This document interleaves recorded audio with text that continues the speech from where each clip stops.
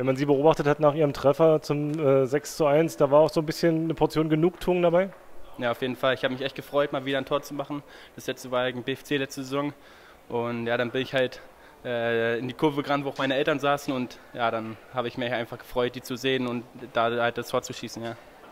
Ihre persönliche Situation ist ja gar nicht so einfach. Der Konkurrenzkampf im Mittelfeld bei NN Cottbus riesengroß. Da muss man immer wieder seine Lücke suchen. Ja, beschreiben Sie mal, wie schwierig ist das? Ist sicherlich nicht leicht. Ich meine, es sind am Ende drei Positionen für, ich glaube, sieben oder acht Spieler. Aber das muss man ins Fußball hinnehmen.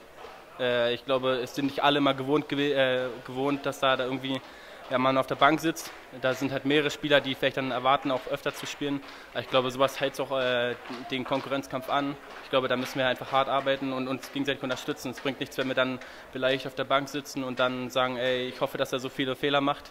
Wenn wir da einfach ruhig bleiben, ist das, ist das äh, für die Mannschaft auch besser. Wenn man jetzt auf den Spielplan schaut, da wird es schon ein bisschen happiger in nächster Zeit. Kommen jetzt langsam die Wochen der Wahrheit für die Mannschaft? Ich glaube, jedes Spiel ist wichtig. Also klar, wir hatten jetzt äh, zwei, Spiele, zwei Spiele weniger gehabt, die jetzt, glaube ich, im September und Oktober nachgeholt werden müssen. Das wird jetzt ein volles Programm, ich glaube mit sechs oder sieben Spielen im September. Ich weiß nicht, ob Landespokal äh, ich damit einberechnet habe.